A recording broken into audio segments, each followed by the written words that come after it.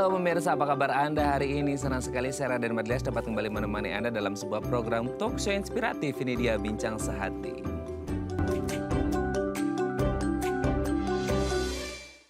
Tadi pagi ya pemirsa itu udah di Jakarta Raya ini udah panas banget gitu ya. Dan sepertinya di Indonesia beberapa bulan terakhir itu cuacanya waduh lumayan ekstrim. Kayaknya nggak di Indonesia aja ya, mungkin di beberapa negara khususnya di Asia Tenggara memang masih lumayan panas kondisinya. Nah salah satu yang harus diantisipasi adalah ketika posisi Indonesia ini kayaknya lebih dekat ke matahari dibandingkan bumi gitu ya. Memnya banyak banget gitu ya. Yang akhirnya membuat kita kayak aduh haus sepanjang hari. Dan jadi masalah adalah ketika pas lagi haus kita lagi ada aktivitas atau yang lain sebagainya dan membuat kita nggak bisa minum. Atau kadang-kadang karena kita terlalu sibuk gitu ya dengan aktivitas atau pekerjaan kita membuat kita jadi kayak lupa minum dan akhirnya membuat diri kita atau tubuh kita mengalami dehidrasi. Nah terkadang kita kepikiran ah nggak apa-apa lah nanti juga setelah selesai kerja kita minum aja gitu ya. Kita tinggal tambahin aja kurang berapa liter sih gitu ya tinggal minum aja. Nah pertanyaannya ketika tubuh mengalami dehidrasi meskipun kayak kita ngerasa it's okay fine fine aja tapi sebenarnya di tubuh ini ada apa apa gitu ya, terjadi apa ataukah bisa merugikan tubuh kita, merugikan kesehatan kita. Nah inilah topik yang akan kita bahas hari ini ya. Kita akan membahas kupas tuntas seputar dehidrasi seperti itu ya. Tapi sebelum kita bahas tentang tema kita hari ini, kita akan membahas terlebih dahulu beberapa mitos atau fakta seputar makanan dan juga minuman. Oke, kita lihat yang pertama pemirsa ya. Makan nasi dingin katanya itu lebih sehat. Nah di Indonesia ini kan kita kayaknya agak aneh ya kalau kita makan nasi dingin gitu ya. Jadi kayak oh bentar-bentar nasinya harus diangetin gitu ya atau nasinya kalau bisa keluar dari rice cooker gitu ya membuat kayak kayaknya makan nasi yang panas atau nasi yang hangat ini kayaknya lebih apa ya lebih enak gitu ya lebih mantul ketika kita ngomongin atau membandingkan antara nasi dingin atau nasi hangat seperti itu. Apalagi kalau kita lagi bertamu ke rumah orang, kayaknya jarang ya kita bertamu ke rumah orang terus dikasih nasinya nasi yang udah dingin. Pasti itu nasinya bahkan terkadang itu se rice cooker rice cookernya tuh ya ditaruh di depan kita gitu. Nah karena identiknya adalah makan nasi yang hangat itu lebih sopan lah kali ya dan lebih enak rasanya seperti itu. Tapi kan kita ngerti ya, mungkin untuk sebagian orang yang sudah ngerti, kita kita ngomongin tentang indeks glikemik dari si nasi ini, si sumber karbo ini yang sebenarnya bagus, kan kita juga katanya bilang, ada yang bilang ketika nasi panas atau yang lumayan hangat gitu ya,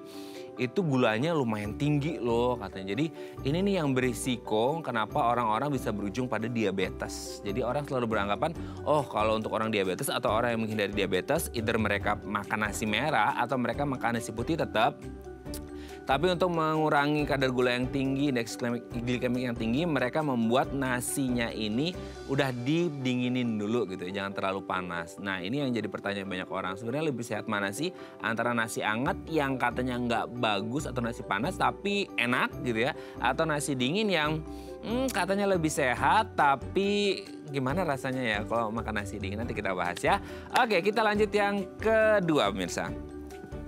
Papaya itu katanya baik untuk sistem pencernaan. Nah ini ini sebenarnya relate ke kehidupan saya dulu ya. Ketika kecil itu tetangga itu banyak yang melihara burung gitu ya. Nah burung itu dikasih makan pepaya dan pupnya itu full papaya and smells like papaya gitu.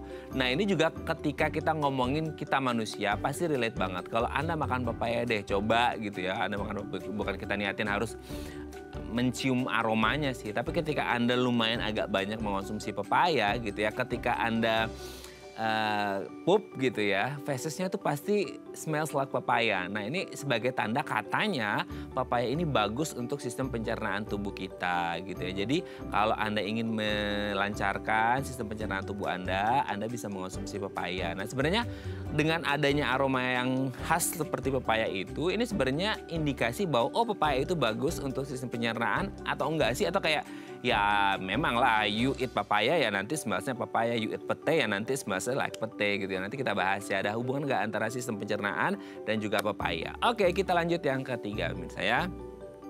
Bumbu mie instan katanya itu nggak boleh dimasak karena katanya berbahaya. Nah ini kan dilematis ya. Ah udahlah banyak yang oh harus dimasak langsung di atas kompor di air mendidih atau yang kayak ada juga nih ya tim yang taruh dulu di mangkok, kemudian dikasih air panas, diaduk-aduk, atau yang minyak dituang dulu, kemudian baru deh di tabur di atasnya dan lain sebagainya. Banyak sekte lah ya kalau kita ngomongin tentang makan mie instan. Tapi di luar ngomongin mie instan sehat atau tidak sehatnya, karena sekarang juga banyak mie instan yang sehat ya gitu ya. Kita ngomongin juga gimana sih cara memasak bumbunya. Karena kita kira, loh kalau nggak dimasak berarti bumbunya mentah dong gitu ya. Kayak asal ditabur aja berarti nggak matang. Nah itu katanya justru berbahaya. Tapi ada juga sekte yang bilang bahwasanya kalau bumbunya dituang di air yang mendidih ketika api masih hidup di atas kompor, di atas panci, itu justru kayak bisa menimbulkan apa ya senyawa-senyawa yang katanya bisa berbahaya untuk kesehatan tubuh kita.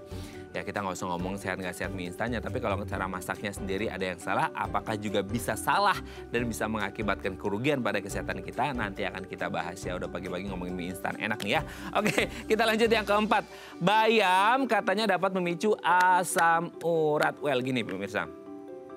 Namanya sayuran, apalagi sayuran hijau itu kan identik dengan sayuran yang sangat sehat ya di mana-mana. Kalau colorful juga nggak hanya hijau sih, maksudnya yang merah, kuning dan lain sebagainya itu sehat. Tapi kalau kita ngomongin sayuran hijau, ini kan identik dengan orang yang ada riwayat asam urat. Jadi kalau untuk sebagian orang bayam, sawi dan lain sebagainya itu baik untuk kesehatan, ada yang bilang, "Oh, kalau punya riwayat asam urat jangan makan sayuran yang berwarna hijau apalagi hijaunya pekat gitu ya seperti bayam, sawi dan lain sebagainya. Kenapa memangnya? Oh itu purinnya tinggi. Nah purin ini kan salah satu hal yang harus dihindari ketika orang punya riwayat asam urat. Nah kalau kita ngomongnya tapi kan bayam sehat. Ya iya sih sehat sih, tapi kalau purinnya tinggi gimana tuh dengan orang-orang yang punya riwayat asam urat? Nanti kita bahas ya. Ada hubungan nggak antara asam urat dan juga bayam or the friends gitu ya, sama-sama hijau gitu ya. Oke kita lanjut yang terakhir pemirsa. Air kelapa katanya baik untuk kesehatan. Nah ini salah satu orang kalau kita ngomongin orang lagi berolahraga gitu, workout dan lain sebagainya kan mereka pasti akan Berkeringat. Nah, berkeringat ini kan sebagai salah satu respons tubuh untuk me, apa ya, mendinginkan suhu tubuh kita dengan mengeluarkan air gitu ya di dalam tubuh kita bahasnya yang berupa keringat. Nah, berarti akan kekurangan air nih tubuh kita. Salah satunya mungkin dehidrasi dan ada elektrolit elektrolit tubuh yang keluar. Nah, apa sih kandungan yang baik di air kelapa yang katanya bagus bagus untuk kesehatan tubuh kita adalah kandungan elektrolitnya dengan mengandung banyak kalsium dan lain sebagainya. Pokoknya banyak lah ya kalau Anda coba googling deh gitu ya kandungan di air kelapa itu seperti apa. Nah, ada nggak sih hubungannya ketika kita rutin mengonsumsi air kelapa gitu ya yang katanya baik untuk kesehatan kita. Oke, itu tadi beberapa mitos atau fakta seputar makanan dan minuman dan kami akan membahasnya sesaat lagi tetap bersama kami di Bincang Saat ini.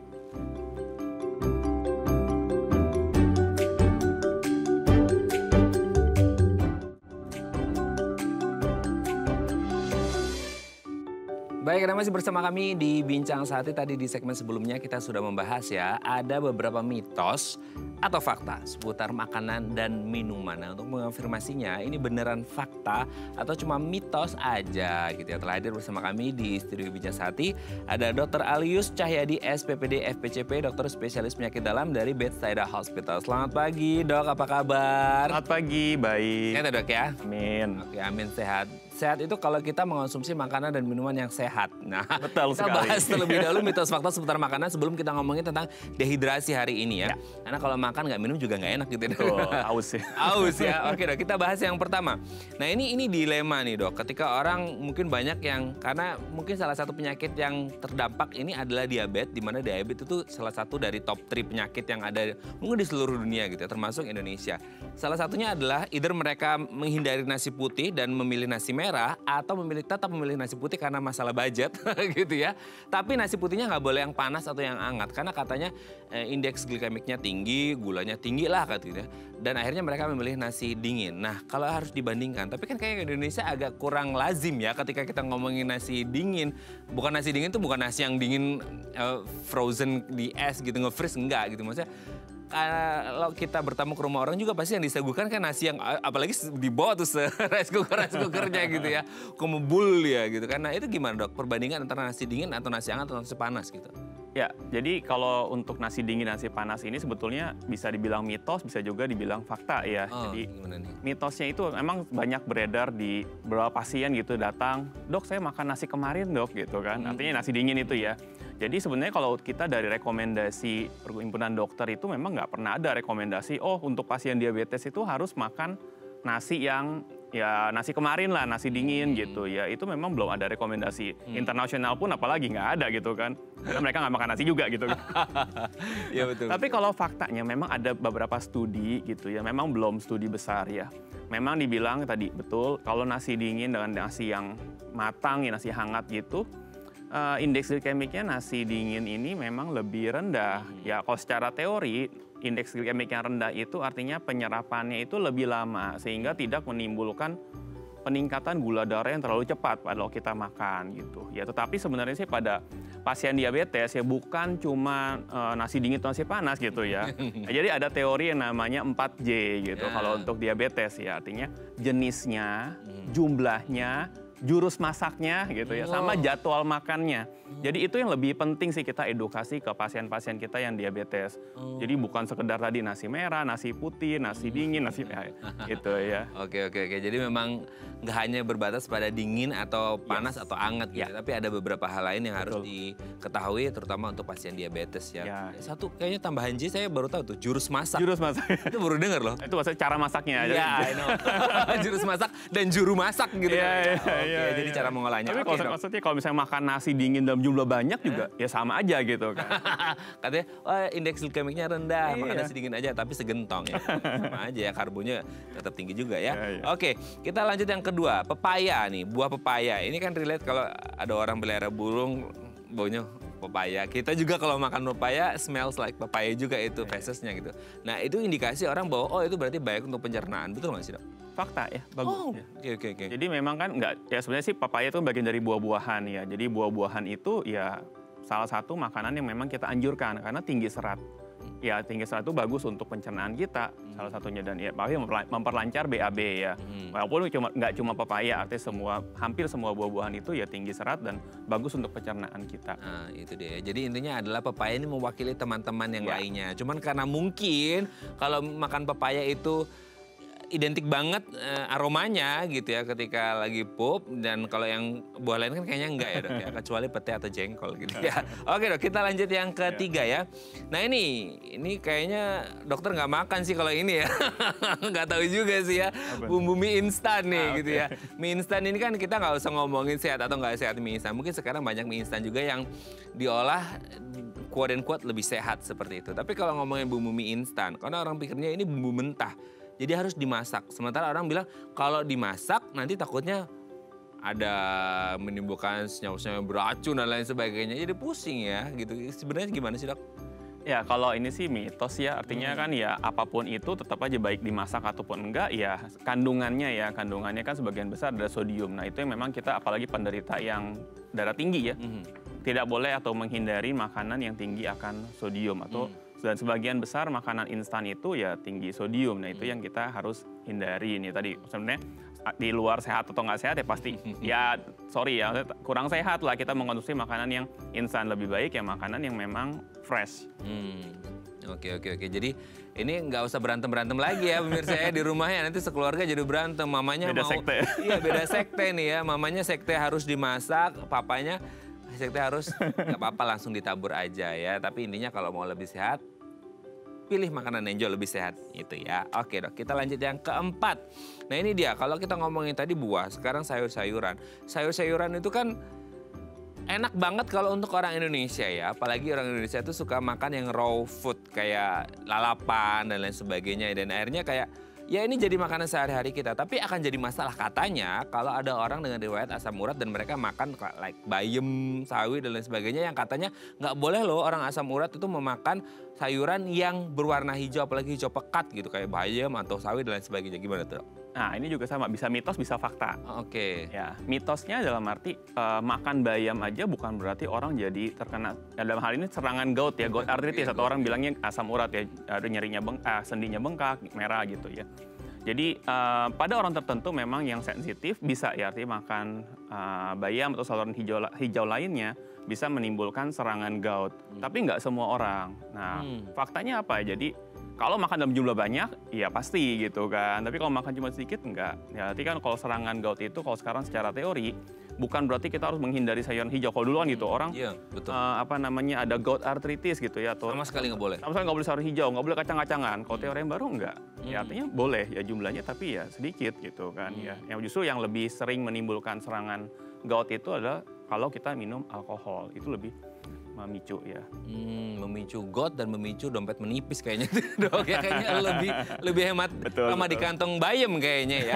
Tapi sebenarnya kalau untuk orang yang oke lah orang belum atau tidak pernah punya riwayat gout sama sekali gitu ya mengonsumsi bayam fine fine aja. Tapi yang sebanyak apa sih orang mengonsumsi sayur bayam kan nggak mungkin sekilo juga bayam gitu kan. Paling hanya beberapa centong sayur aja gitu. Tapi kalau untuk yang benar-benar punya riwayat asam urat atau pas asam uratnya lagi tinggi tingginya gitu dok, itu ber- lebih baik dihindari atau nggak apa-apa selama kayak sesuap dua suap aja gitu. Nggak apa-apa sih. Oh nggak apa-apa, tetap nggak apa-apa ya. Ya, artinya Karena kalau itu yang teori dia- terbaru ya. Ya kalau memang dia makan dan nggak apa-apa, ya kenapa harus dihindarin gitu kan. Oh, Berarti harus eh, trial and error dulu dong. Tapi kalau sedikit aja nggak masalah. Apa? Artinya kan ya tadi sayuran itu kan juga serat ya. Artinya kalau Hmm. orang hindarin sayuran itu ya nanti orang yang asam uratnya ini dong jadi konstipasi. ya. Kurang ya, konstipasi. Oh, nambah lagi masalahnya ya. Udahlah asam urat, asam urat sembelit lagi dia ya. Iya, iya. Oke dok, kita lanjut yang kelima. Air kelapa katanya baik untuk kesehatan. Kan selama ini kan orang selalu, uh elektrolit, elektrolit gitu kan. Sampai sekarang itu minuman dalam kemasan gitu ya. Itu pun banyak yang melabeli air kelapa. Well, kita got no idea sebenarnya untuk masalah itu. Tapi kembali lagi ke air kelapanya bagus untuk kesehatan. Itu gimana? Fakta ya, tapi kita bicara air kelapa yang murni ya. Murni ya? Bukan yang, Yang di sintetis kelapa ya? Ah, yang di kelapanya. Oke, oke. ya artinya memang kan dia tinggi akan kandungan elektrolit. Oke. Sehingga kalau misalnya kita terutama habis aktivitas berat, kalau kita minum air kelapa itu segar rasanya enak ya. Jadi memang ya dia bagus sih ya untuk rehidrasi ya. Hmm. Dan biasa pada pasien yang memang kita uh, kekurangan kalium gitu ya. Betul, betul. Pasien, jadi biasa kita anjurkan, oke minum air kelapa nggak apa-apa. Hmm, apalagi waktu habis olahraga dan lain sebagainya itu bisa mengembalikan. Betul. Oh, oke oke. Oke dok, thank you. Ini sudah terjawab mitos faktanya. Nanti kita lanjut lagi ngomongin tentang dehidrasi ya. Karena kayaknya Jakarta dan sekitarnya bukan Jakarta sih, Indonesia kayaknya ya. itu lagi panas-panasnya ya. Semoga panasnya cuma cuaca jangan hatinya ya dok ya. Oke dok, nanti kita lanjut lagi ya di segmen Oke. selanjutnya. Oke pemirsa, kalau Anda punya pertanyaan seputar tema kita hari ini boleh tanya-tanya di 021 290 3244 atau di Instagram kami di @daifamily. Kami akan kembali saat lagi.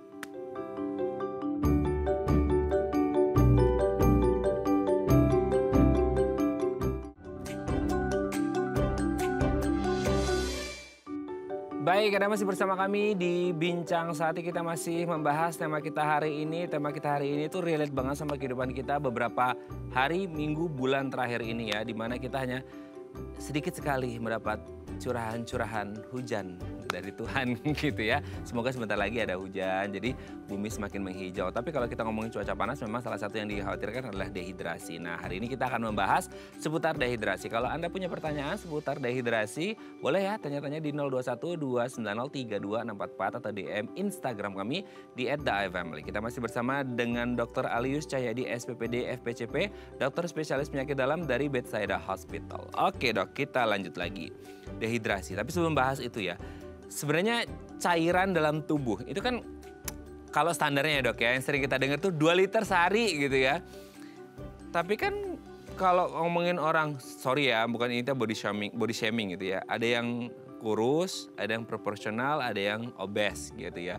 Nah, kalau kita ngomongin kebutuhan cairan tubuh, idealnya itu yang seperti apa sih? Selama ini kan kayak 8 gelas sehari, 2 liter, itu kayaknya udah template banget. Tapi itu masih masih berlaku seperti itu atau sebenarnya kalau kita ngomongin cairan tubuh ya harus disesuaikan dengan BMI orang masing-masing gitu atau gimana sih, Dok? Ya betul. Jadi kalau kita secara umum memang kita bilang oh sekitar satu setengah sampai 2 liter cukup ya untuk maintenance uh, sehari-hari pada orang dewasa ya gitu kan. Tapi memang kalau saat kita di medis kita ada penghitungannya berdasarkan berat badannya nih. 10 kilo pertama, 10 kilo kedua sama sisanya berapa. Nanti ada perkalian 10 kilo pertama berapa cc gitu kan. 10 kilo kedua berapa cc. Sisanya kali perkaliannya berapa cc. Nah itu nanti kita hitung. Itu kebutuhan maintenance dalam 24 jam. 24 jam. 24 jam. Cuma kan artinya kan nggak cuma dari air yang kita minum. Misalnya kita makan ada sup. Nah itu kan masuk minum juga gitu ya cairan. Oh. Kita ada minum kopi gitu kan. Itu kan cairan juga ya. Jadi nggak nggak cuma artinya air putih yang kita minum itu ya 102 liter, enggak, artinya kan itu semuanya. Nah, nah, nanti abis ini nih, mungkin ada yang motong nih nanti di media sosial nih omongannya dokter Alius ya. Oh, 2 liter, aku minum boba 2 liter sehari gak apa-apa nih. Gak gitu juga ya dok ya? Gak gitu juga. gak gitu juga. Karena takutnya kan banyak sekarang motong-motong begitu dok ya. Ya, ya, ya. Oh yang penting gak harus dari air putih, dari kopi. Tadi udah sebut kopi tuh ya. Wah, apalagi sekarang belinya yang literan lagi. Orang nggak lagi cup main ya, literan loh gitu ya. Tapi harus diseimbangkan. Jangan 2 liternya, 1 liternya kafein sendiri gitu Ya, ya. kan ada kandungan lainnya itu ya. Iya, satu liternya kafein, Ada gula. satu liternya gula. Itu bukan air, itu gula dikasih sedikit air gitu ya. Oke, tapi kalau kita ngomongin tadi dok, boleh nggak sih di-spill dikit Ya. kebutuhan cairan itu tadi hitung-hitungan detailnya contohnya. Ya. Misal kalau berat badannya 70 gitu itu gimana ngitungnya dok? Oke, berarti kalau berat badan 70, kita hitung secara rumus ya, 10 kilo pertama kita 100 cc. 100 cc. Jadi eh, 1000 kan ya. 1000. Kemudian 10 kilo kedua 50 cc. Berarti udah 500 ya. Hmm. Berarti udah 1500. Ditambah sisanya berarti 50. 50. 50 kali 20. 100. Eh, 1000. 1000. Nah, berarti kebutuhannya dia harusnya 2,5 liter Oh. untuk berat badan 70 kilo. Oke oke oke oke oke dua setengah liter ya. Oh Ya. itu hitung hitung hitungannya ya. Ya, oke jadi maintenance ya. maintenance ya selama 24 jam. 24 jam. Itu harus berkala kayak oh nyicil nyicil atau ya kalau sekaligus dua setengah liter langsung kembung ya kayak langsung ledei gitu kalau bahasa Jermannya. Berarti harus bertahap intinya 24 jam dia harus terpenuhi dua setengah liter 2,5 itu liter, gitu ya. Ya. Campuran ya kombinasi antara air putih dan mungkin kayak sup-supan dan lain Ya. sebagainya ya dan tapi jangan yang tadi ya kita sebutin ya dok ya. Oke, tapi kenapa sih pertanyaannya dok kita harus mencukupi kebutuhan cairan atau air dalam tubuh? Karena kita pikirannya kan kayaknya lebih lemes lapar deh dok gitu ya dibandingkan haus gitu ya meskipun nahan haus juga nggak enak banget gitu ya kenapa sih ada ada apa yang di tubuh yang dibutuhkan oleh tubuh kita ketika harus minum gitu Oke, karena sebagian besar dari berat badan kita ini adalah air. Oh gitu Ya, 60% dari berat badan kita adalah cairan. Oh berarti bukan ini ya dok, lemak nih. bukan ya? Sisanya itu. Sisanya itu. Oke oke oke. Nggak. Jadi 60% itu adalah cairan. Jadi Oke. makanya tadi konsepnya orang berat badannya misalnya 50 kilo, ya berarti eh, 60% itu adalah eh, dari beratnya adalah cairan. Makanya kalau kita eh, kekurangan cairan pasti akan lemes segala dengan segala gejala lainnya ya. Karena dalam struktur sel aja komposisinya ada cairan gitu. Jadi eh, cairan itu penting untuk badan kita. Cairan penting. Oke. Nah apa nih konsekuensinya kalau dia kan mengambil bagian lebih dari 50% ya, 60% ya. Ibarat kata kalau baterai handphone tuh udah mulai lowbat nih gitu ya. Nah apa sih dampak ketika orang kurang minum air? Kan ada ya, kita nggak sebut brand, cuman ada Iya, iya. kayak kurang minum air itu jadi nggak fokus. Betul nggak sih?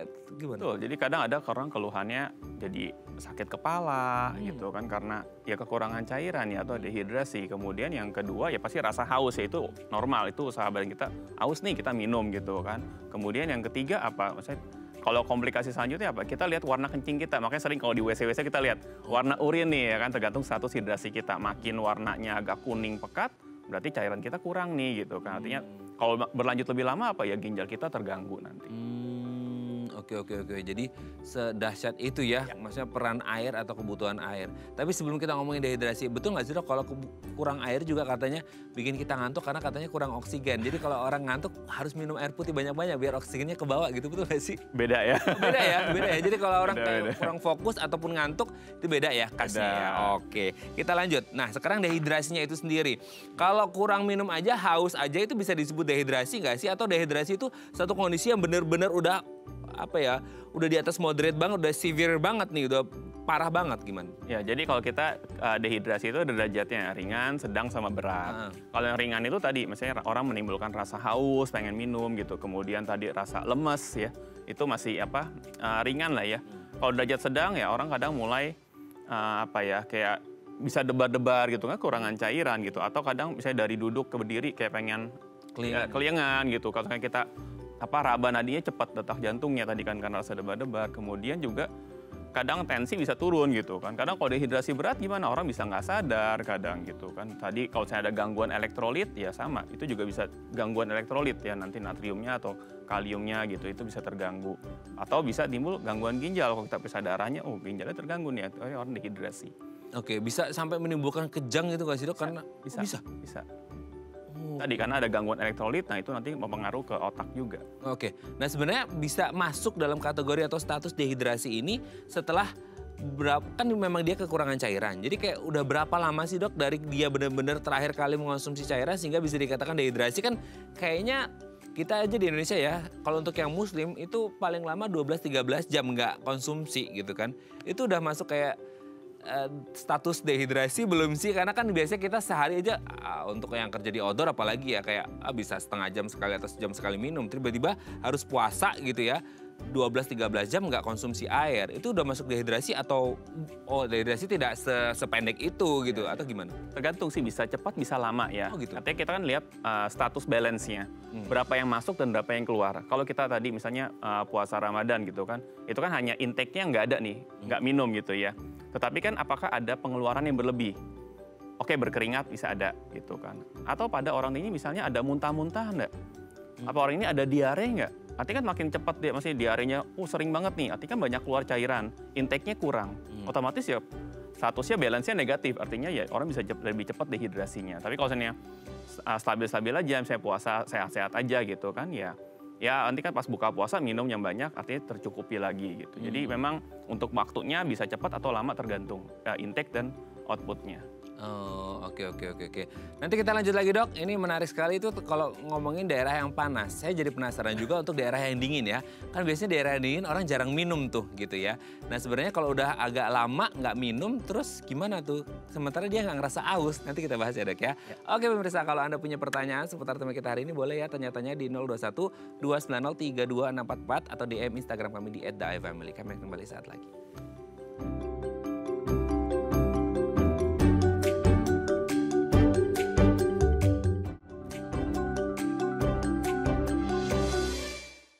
Baik, Anda masih bersama kami di Bincang Saat ini kita masih membahas tema kita hari ini seputar dehidrasi. Kalau Anda punya pertanyaan seputar tema kita hari ini, boleh tanya-tanya di 0212903244 atau DM Instagram kami di @daifamily. Kita masih bersama dengan Dr. Alius Cahyadi SPPD FPCP, dokter spesialis penyakit dalam dari Bethsaida Hospital. Oke, Dok, kita lanjut lagi. Tadi yang sempat terpotong ya. Itu kalau kondisi panas nih, kalau kondisi dingin, Dok, gitu.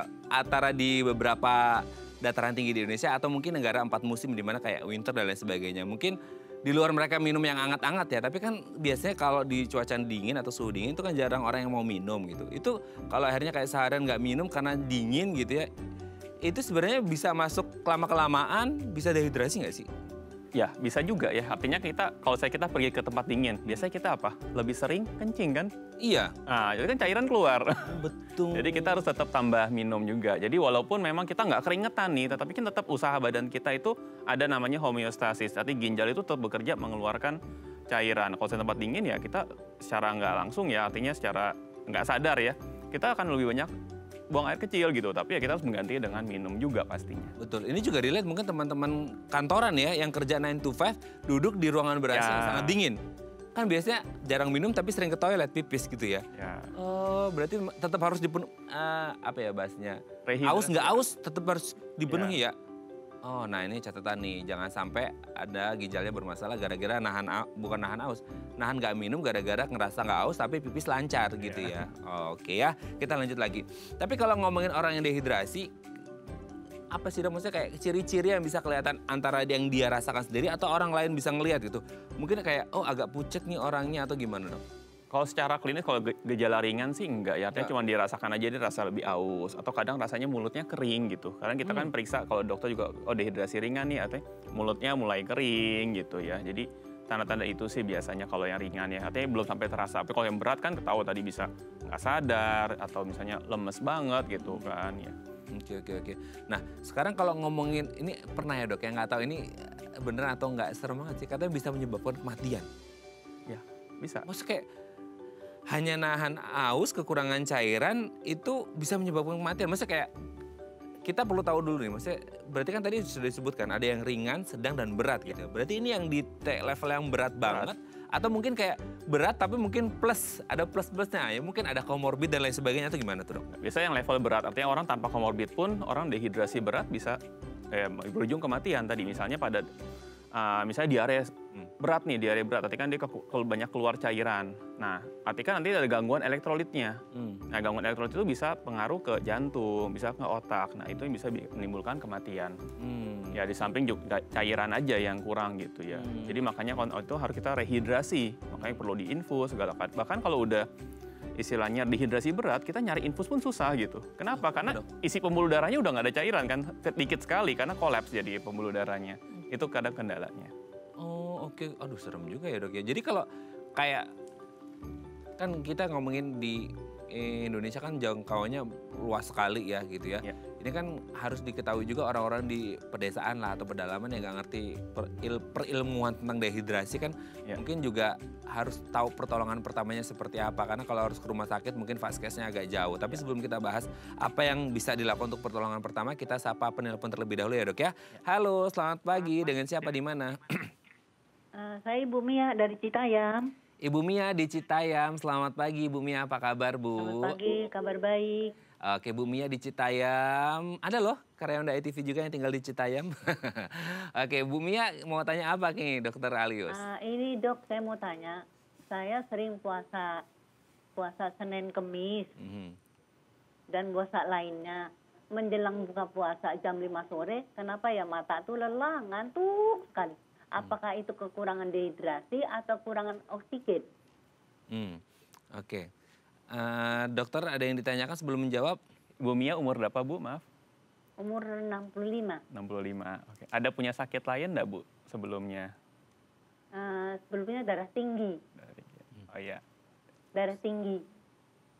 Oke, sudah jelas dokter atau ada yang tanyakan lagi? Sudah.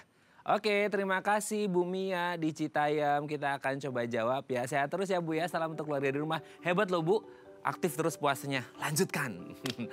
Oke, Dok, gimana nih? Bu Mia 65 tahun ya tadi ya? Ya. Aktif berpuasa dan ketika menjelang buka puasa sekitar maghrib jam 6-an itu, jam 5-an kayak matanya berat banget gitu ya. Itu gimana tuh, Dok? Ya satu memang bisa tadi status hidrasinya mungkin udah mulai berkurang ya. Di samping lain kedua ya kita lihat lagi kali apa kadar glukosa darahnya nih atau gula darahnya. Hmm. Takutnya rendah juga, artinya kan puasa ya pada orang tertentu apalagi pada orang tua ya di atas 60 tahun itu em, ya kita mesti lihat gula darahnya terkontrol apa enggak gitu ya. Artinya kalau emang normal-normal aja sih enggak apa-apa, tapi takutnya dia mulai rendah atau kita bilang hipoglikemia itu juga gejalanya ngantuk gitu kan, lemas ya. Jadi masih beberapa banyak faktor sih yang bikin eh, keluhan seperti itu. Baiknya coba periksa. Jadi ini sebenarnya hal yang wajar untuk satu orang yang berpuasa karena udah 12 jaman berarti itu ya. Uh, 12 zaman, zaman apa aja ya. 12 jam ya, sekitar 12 jam plus juga faktor risiko dari usia. Ya. Itu hal yang wajar. Ya. Nah, nanti ketika buka puasa bisa langsung kembali on gitu nggak sih, Dok? karena akhirnya terhidrasi lagi gitu. Ya, Oke, nah ini juga mungkin eh, PR, eh, bukan PR, jadi bekal juga untuk Bumia dan teman-teman yang lain ketika meskipun kita belum ngomongin bulan puasa ya, bulan puasa masih jauh bulan Ramadan ya, Natal aja belum gitu ya dok ya. Nah kalau orang yang buka puasa nih kayak Bumia, karena mungkin ada yang puasa Senin Kamis dan lain sebagainya, itu dia pas buka puasa untuk memenuhi hidrasinya tadi cukup dengan air putih biasa atau karena orang kayak, karena udah berat banget nih dok, aduh kayaknya udah harus minum yang seger plus es gitu. bebas aja sih nggak Oh, pernah ada ini ya. Sama prinsipnya kan nanti es juga kan jadi air ya. Hmm, oke oke oke. Es juga jadi air ya, bukan nggak tetap mengeras di dalam gitu ya. Oke, semoga ini bisa menjawab pertanyaan Bu Mia yang ada di Citayam. Terima kasih Bu Mia ya, sehat terus dan semangat terus puasanya ya. Hebat, keren keren banget ya. Oke dong, kita lanjut lagi. Nah, kalau ngomongin pertolongan pertama tadi se- sebelumnya kita udah sempat bahas. Untuk orang-orang yang kayak mungkin vaskesnya jauh, eh, ya produk knowledge tentang ini juga nggak ngerti tentang dehidrasi Ya, ya. ketika menemukan kasus yang tadi dilihat, oh ini kayaknya ciri-cirinya ke dehidrasi nih. Apa sih yang harus dilakukan? Apakah dikasih apa bahasanya digojloki banyu gitu ya, di- dikasih banyak minum gitu, atau ada yang kayak orang kayak, oh ini yang lebih efektif tuh kalau pakai semisal sekarang itu infused water gitu ya kayak, wah ini kayak udah jadi rajanya air minum gitu. Ya, ya. Prinsipnya sih kalau dari kita yang penting cairan nih apa pun itu ya, apakah mau infused water atau air putih aja, selama dia bisa uh, minum per oral ya, minum lewat mulut ya, ya perbanyak minum uh, rehidrasi lewat minum ya. Gitu. Maksudnya nggak perlu semua orang ini harus diinfus gitu. Hmm. Kalau memang istilahnya nggak bisa nerima, misalnya orang muntah-muntah gitu kan, atau dehidrasinya sudah mulai berat, ya mau nggak mau harus diinfus. Hmm. Cuma kalau tadi kan kalau kendalanya, oh jauh nih kalau harus ke vaskes atau ke rumah sakit, ya coba minum dulu aja lebih sering gitu ya. Air putih aja nggak perlu yang kalau bikin infus water lama lagi tuh. Lama lagi yang ngolahnya ya. Iya. Oke, tapi kalau untuk orang kan tadi dokter juga sempat Iya. mengatakan orang dehidrasi bisa sampai kehilangan kesadaran ya. Nah itu gimana kan nggak mungkin kita apa ngasih minum pasti akan nolak kan akan keluar Iya. lagi gitu. Ya kalau emang udah seperti itu mau nggak mau pilihannya ya harus bawa ke UGD. Oh gitu ya. Ya. Oke itu maksudnya di kondisinya tidak sadarkan diri itu udah kritis banget nggak sih dok? Karena udah kehilangan kesadaran tuh. Ya kritis. Hmm, Oke, tapi kalau untuk orang yang lagi masih sadar nih ya, masih bisa minum gitu ya. Ya. Karena konteksnya udah dehidrasi, kurang minum, akhirnya orang ngasihnya sebanyak-banyaknya. Perlu sebanyak-banyaknya atau kayak, oh bertahap, lihat respon dia gitu. Itu gimana? Sebisanya ya, artinya sebanyak yang dia bisa ya silakan minum. Tapi nggak langsung, oh nih satu apa satu botol gitu Galon. kan habis. Jadi kan eh, tadi kan kalau kebutuhan cairan kita dua 2 liter lah, atau dua setengah liter untuk 70 kilo tadi. Artinya kalau dia dehidrasi, lebih dari itu kebutuhan 24 jamnya. Mhm. Karena kan ada yang kekurangan cairannya nih yang Betul. udah keluar gitu. Jadi ya lebih banyak, lebih sering gitu. Misalnya biasanya 8 gelas ya mungkin bisa lebih dari itu saat ini gitu kebutuhannya. Oke, tapi ketika dia dikasih minum nih ya dok ya, itu sebenarnya dia udah langsung ngefek nggak sih? Eh, kan ibarat kata kalau tanaman dikasih siram air ya akan langsung nyerap ke tanahnya. Tapi kalau tubuh manusia dia bisa langsung respon dan kayak mulai agak apa ya segeran gitu nggak sih ketika dehidrasi terus dikasih air gitu? Ya tapi kan prosesnya lebih lebih apa ya, lebih ada butuh waktu lah ya. Artinya kan kita minum kan masuk ke mulut, ke lambung, kemudian baru diserap cairannya gitu ya. Ya memang lebih cepat dibandingkan kalau kita makan makanan padat. Min- apa cairan itu lebih cepat gitu. Tapi butuh waktu pastinya. Oke, sampai dia meng- menghasilkan tenaga di tubuh juga butuh waktu ya. Ya. Oh, Oke, oke. Oke, Dok, sebelum lanjut ini ada DM Instagram saya bacakan ya. Ini dari mana nih? Ya, bentar. dari Pak Brian ya. Pagi, Dok. Saya usianya 25. Sering kerja di luar ruangan, outdoor nih ya. Akibatnya sering dehidrasi nih. Nah, untuk mengatasinya saya sering minum isotonik. Oh, isotonik ya. Dalam sehari saya bisa minum sampai 5 botol, Dok. Oh nanti mungkin dijelasin ya dok isotonik itu apa terus sampai 5 botol. 5 botolnya berapa mili ya ini berapa liter nih ya kayak satu botolnya nggak tahu nih berapa. Apakah cara saya ini udah bener dok atau sebaiknya saya lebih banyakin minum air putih aja makasih. Makasih juga Pak Brian, Mas Brian ya 25. Oke gimana nih dok? Oke, Mas Brian ya. Jadi eh, ya memang sekarang banyak dijual di apa ya, pasaran gitu ya cairan isotonik. Yang disebut isotonik itu adalah cairan yang menye- menyerupai ya kandungan itu menyerupai cairan tubuh.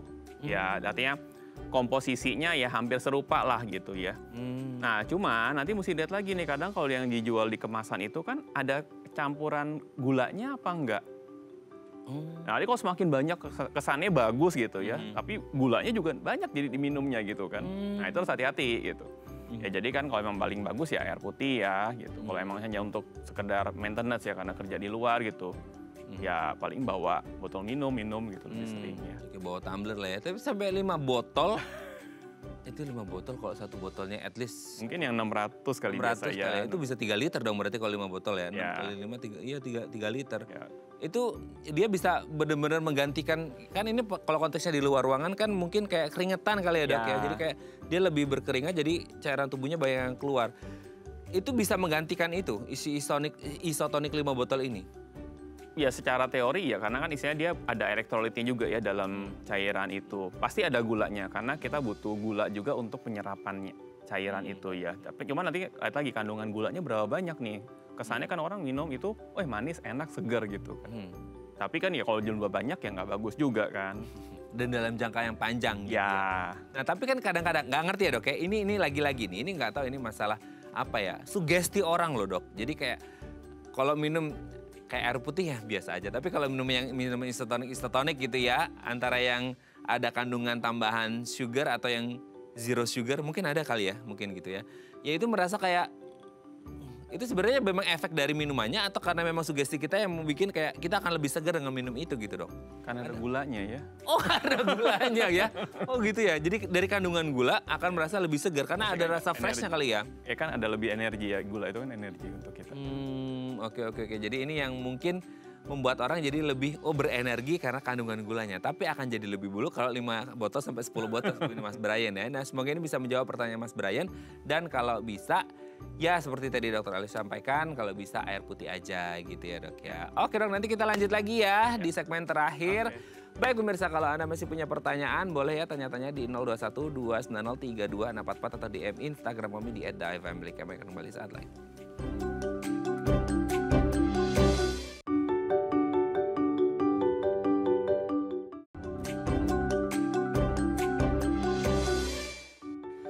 Baik, masih bersama kami di Bincang Sehati. Kita masih membahas tema kita hari ini seputar dehidrasi. Mengingat kondisi cuaca yang sangat lumayan ekstrim ya di Jakarta dan Indonesia pada khususnya. Nah, kita masih membahasnya bersama dengan Dr. Alius Cahyadi, SPPD, FPCP, dokter spesialis penyakit dalam dari Bethsaida Hospital. Oke dok, kita lanjut lagi.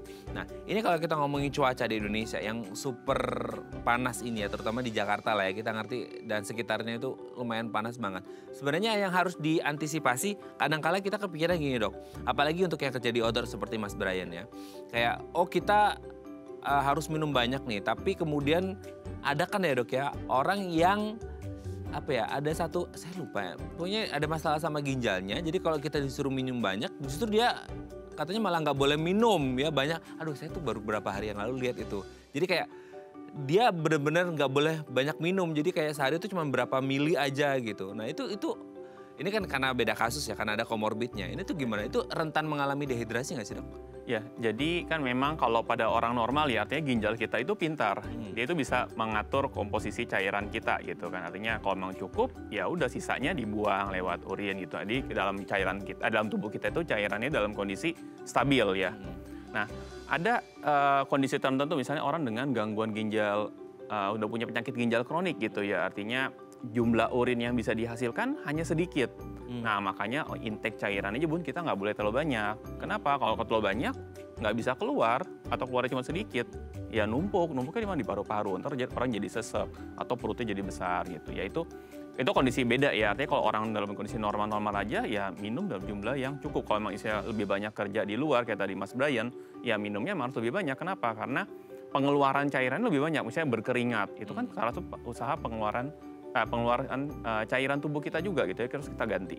Mm-hmm. minum. Tapi kalau untuk yang penyakit-penyakit yang tadi ya dok ya saya juga lupa istilahnya lagi yeah. gitu ya. Itu nggak apa-apa dok. Maksudnya kayak ya karena kondisi kesehatan ginjalnya dan lain sebagainya sehingga dia nggak boleh minum banyak. Nah sementara kita hari ini ngomongin harus minum sesuai kebutuhan tubuh. Kayak dia 70 kilo harusnya dua setengah. Tapi karena penyakit let's say kayak dia hanya maksimal di satu liter aja. Kalau lebih dari satu liter ginjalnya yang kasihan. Itu dia akan masuk ke kategori dehidrasi atau enggak atau karena oke karena ginjalnya bisa menyesuaikan jadi satu liter pun tidak akan mengalami dehidrasi atau gimana dok? Ah jadi selain penyakit ginjal juga ada namanya kita penyakit jantung. Yaitu biasa berhubungan tuh. Artinya orang dengan uh, gagal jantung ya kita bilangnya. Istilahnya pompa jantungnya lemah. Kalau kita minum dalam jumlah banyak, maka ya jantungnya makin berat kerjanya. Hmm. Ya itu nggak bagus juga. Jadi memang biasanya ada eh, kita akan edukasi ke pasien tergantung ya tergantung maksudnya pasien ini sakitnya ada apa aja.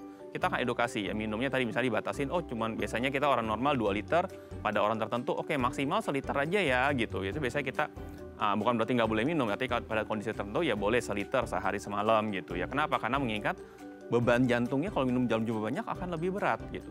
Hmm. Kalau saya tadi orang gangguan ginjal urinnya cuma sedikit ya kita harus batasin juga minumnya misalnya cuma boleh seliter sehari gitu ya. Atau misalnya pada pasien dengan penyakit ginjal kronik yang sudah apa mengalami terapi pengganti ginjal ya misalnya dalam orang awam bisa apa bilangnya cuci darah gitu ya. Ya betul. Misalnya udah nggak kencing lagi nih pasien ini ya minumnya berapa banyak ya paling kita cuma batasin paling satu gelas atau istilahnya sampai ya 600 cc gitu. Jadi memang kita batasin sekali gitu.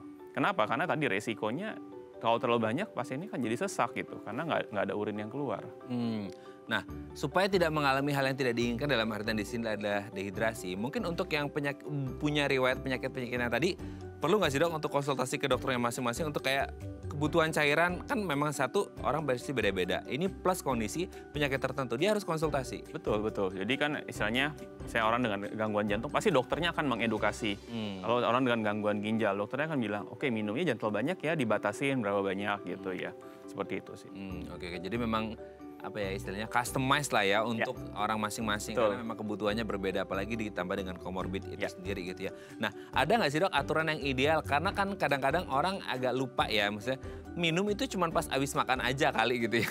Maksudnya ada nggak sih aturan yang lebih ideal supaya angka kecukupannya itu pas gitu ya. Let's say kayak yang 70 kilo harus dua setengah liter gitu ya. Ada waktu-waktu yang baik nggak sih untuk minum? Karena kadang-kala kan orang banyak ya orang nggak tahu deh ini ngomongin kayak oh makan itu eh, harus makan dulu eh harus minum sebelum makan atau minumnya itu setelah setengah jam setelah makan gitu. Sekarang banyak loh dok. Kita nggak ngerti nih tips-tips kesehatan ini bener atau enggak sih di media sosial. Banyak dok jadi kayak kalau habis makan langsung minum tuh katanya nggak bagus segala, segala, macam jadi kita bingung ini mau sehat susah banget sih gitu ya ada nggak waktu itu ideal atau kayak ya udah anytime aja minum gitu Secara teori sih nggak ada, artinya anytime Oh. aja. Cuma memang tadi beberapa juga, oh sebelum makan minum dulu nih satu gelas. Biar apa? Biar makannya nggak terlalu banyak karena kembung kan. iya Jadi itu ya seperti itu. Jadi tapi sebenarnya nggak nggak pernah ada secara teori ini harus misalnya jam berapa minum gitu. Enggak. Hmm.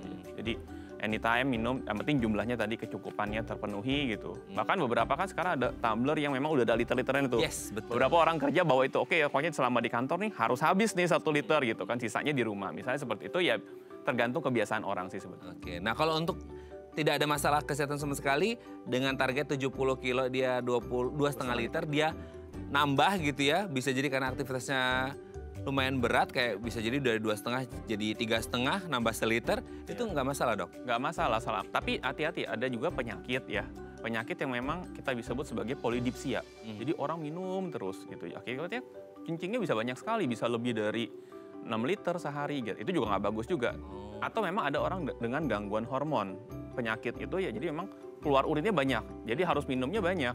Hmm. karena kalau enggak dia akan terganggu cairan. Jadi memang ada kelainan juga nih artinya terlalu dikit kita nggak boleh ada juga penyakit yang gangguan hormon memang Hmm. Terlalu banyak minumnya itu juga nggak bagus juga karena ntar keseimbangan elektrolit terganggu. Oke, ini ibarat kalau dibalas omongannya dengan lagu dangdut yang sedang-sedang. Ya.